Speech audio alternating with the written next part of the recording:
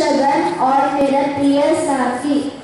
School शिक्षा का मंदिर है, जहाँ हम बच्चे ज्ञान की बातें, अच्छी आदतें, अनुशासन का पालन करना और समय निष्ठा से हम करना सीखते हैं।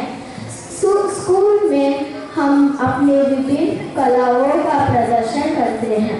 यहाँ हम बहुत सारे दोस्त बनाते हैं और एक दूसरे का ख्याल रखना सीखते हैं। हम अपने विभिन्न कलाओं का प्रदर्शन करते हैं और पुरस्कार जीतने के मौके मिलते हैं, जिससे हमें जीवन में आगे बढ़ने के लिए बहुत प्रोत्साहन मिलता है।